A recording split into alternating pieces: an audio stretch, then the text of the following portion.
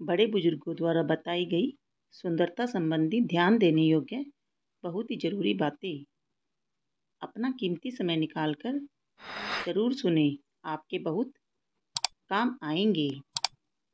चमकती त्वचा हर किसी की ख्वाहिश होती है। त्वचा हमारे शरीर का सबसे बड़ा अंग होती है। ये आंतरिक अंगों की सुरक्षा करती है। शरीर के तापमान को नियंत्रित करती है। विटामिन डी के संश्लेषण में मदद कर हमें अच्छा दिखने के साथ साथ दर्द और स्पर्श को समझने में भी बहुत मदद करती है।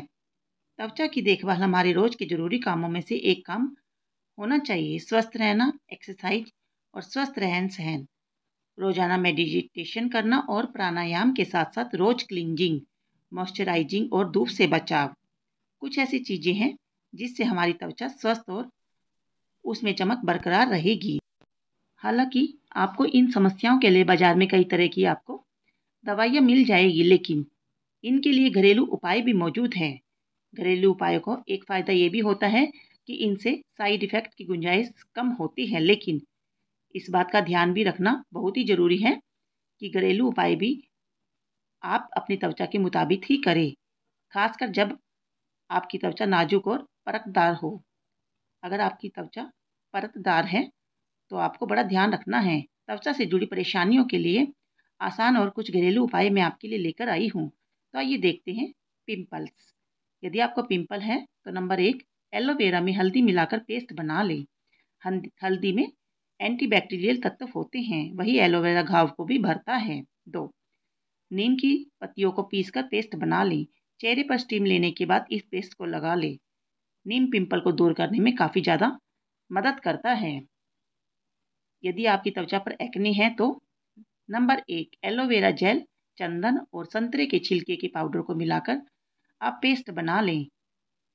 इसे एक्ने जल्दी ही कम हो जाएँगे। दो टी ट्री ऑयल से दिन में दो बार एक्ने को साफ़ करें और रात को सोने से पहले उस पर एडाफेरिन जेल लगाएँ। फटे होठों के लिए।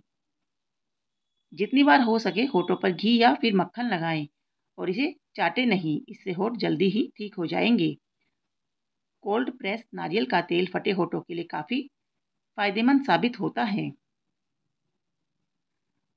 बादाम को पीसकर पेस्ट बना लें या फिर ताज़े दूध की मलाई को दिन में दो से तीन बार होठों पर लगाएँ, इससे होठों का रूखापन दूर हो जाता है। अगर आपकी त्वचा रूखी है तो नहाने से पहले बादाम के तेल से मालिश करें और फिर गुनगुने पानी से नहा लें। ध्यान रखें कि गर्म पानी आपकी त्वचा को और रूखा बना देता है, इसलिए गुनगुने पानी से ही नहाएँ। नहाने के बाद नमी के लिए एक अच्छा मॉइस्चराइज़र ज़रूर लगाएँ। तो बादाम के पेस्ट में मलाई मिलाकर इसे त्वचा पर कुछ देर मसाज करें। इसके बाद धो लें और फ़ौरन मॉइस्चराइज़र लगा लें। साबुन का इस्तेमाल बंद कर दें, क्योंकि ये त्वचा को बहुत नुकसान करती है। गर्मी में अगर दाने हो गए हैं तो दानों पर दिन में दो बार नीम और हल्दी का पेस्ट लगाएँ। ये दोनों एंटीसेप्टिक होते हैं। दाना दाने पैदा करने वाले कीटाणु को ये मारते हैं। दो डेटॉल और सेवलोन जैसी एंटीसेप्टिक चीज़ों का इस्तेमाल ना करें क्योंकि इससे इमाटाइटिस भी हो सकता है। यदि आपको पिगमेंटेशन है तो उसके लिए आप ये करें। नंबर एक पिसा हुआ पपीता दही और नींबू का रस। सेब का रस ये सभी हल्के से एसिडिक होते हैं। ये त्वचा की डेड परत उतारने के साथ पिगमेंटेशन को भी कम करते हैं। दो, सोया या फिर काफ़ी के पत्ते का पेस्ट भी पिगमेंटेशन को कम करने में बहुत मदद करता है। धूप में रंग गहरा हो जाना। उसके लिए आप दही, हल्दी और शहद का पेस्ट बनाकर लगा लें। दही में लैक्टिक एसिड होता है जो ब्लीच का काम करता है। वही हल्दी और शहद भी एंटीसेप्टिक होते हैं। तो इनका आप पेस्ट बनाकर लगा लें, आपको फ़र्क महसूस होगा। रंग गहरा हो जाता है तो इन उपायों को करोगे आप तो आपके रंग में काफ़ी फ़र्क महसूस होगा। तो छोटे छोटे उपाय हैं जिनको कर कर आप कर सकते हैं और अपनी त्वचा को निखार सकते हैं। तो देखिए, अगला उपाय देखते हैं। अगर आपका धूप में रंग गहरा हो गया तो पत्ता गोभी के पल्प में विनेगर मिलाकर लगाने से भी रंग ठीक हो जाता है। धूप में झुलसना। इसके लिए शरीर का जो हिस्सा झुलसा है, वहाँ बर्फ़ लगा लें, बहुत सारा पानी पिए और धूप में जाने से आपको बचना चाहिए, क्योंकि धूप से आपकी त्वचा को नुकसान हो रहा है। धूप धूप आपकी त्वचा को नुकसान दे रही है, इसलिए कोशिश करें कम से कम धूप में जाएँ। दो, चंदन या फिर नारियल का तेल भी त्वचा को आराम पहुंचाता है। यहाँ तक कि एलोवेरा भी झुलसी हुई त्वचा को ठीक करने में मदद करता है।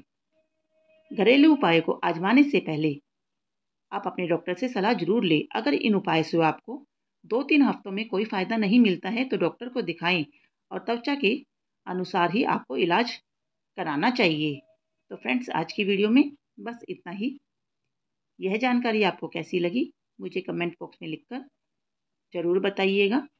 और अगर आपको मेरी वीडियो पसंद आई है तो वीडियो को लाइक करना और शेयर करना अपने दोस्तों और फैमिली के साथ। बिल्कुल भी ना भूलें, ताकि वो भी इस यूजफुल जानकारी का लाभ उठा सकें।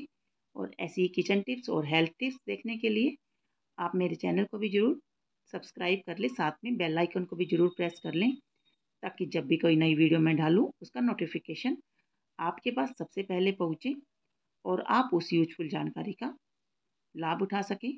तो मिलते हैं आपसे इसी तरह की एक और नई वीडियो के साथ। वीडियो देखने के लिए आपका दिल से धन्यवाद। आपका दिन शुभ हो। अपना और अपनी फैमिली का ध्यान रखिएगा। स्वस्थ रहिए, खुश रहिए। Thanks for watching